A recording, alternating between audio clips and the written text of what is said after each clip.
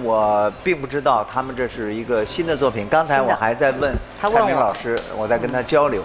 这个作品实实在在讲就是非常成熟啊！我就是很遗憾你不是我们战队的人，但是我必须要赞美你们啊！也真的要为你们点个赞。那 汉明老师，我多问一句，嗯接下来就是要上场的，就是您的战队的，有压力不？啊，我们现在就是我这体格无所谓压力不压力，反正什么也扛不住。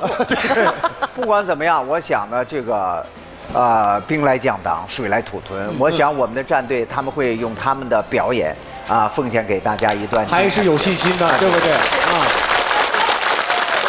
一个喜剧演员光会甩包袱不行，得会演人物。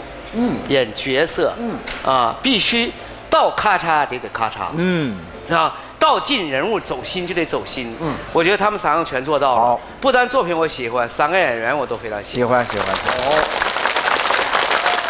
作品里头有两个突出的优点，第一个优点是我们谁都知道，家里不可能藏这么多钱，你有这能耐，外边弄卡呀或者其他的网上银行就解决了。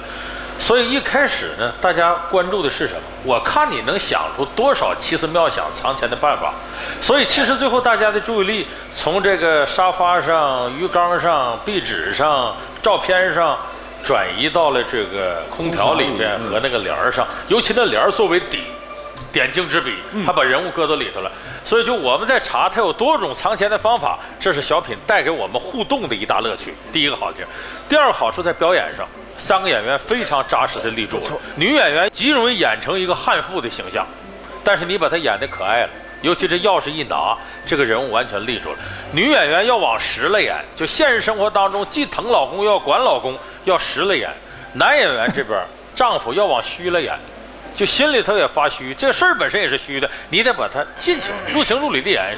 这两个演员之外，这大宝要往呆了演，往傻了演，都做到。哎，就是说他本身越呆，这个反差萌越强烈，他这萌劲儿才出来。所以我也特别欣赏大宝这演员，看了你多场的表演，发现别人演都是装傻，就你演是真傻。